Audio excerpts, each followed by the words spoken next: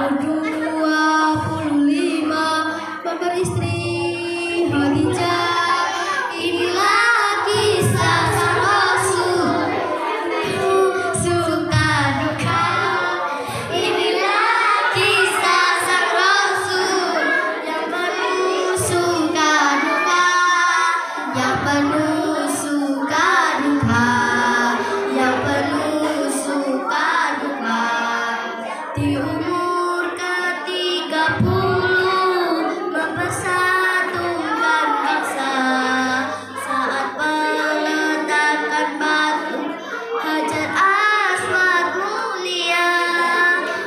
Empat puluh tahun mendapatkan islam, ia pun menjadi rasul.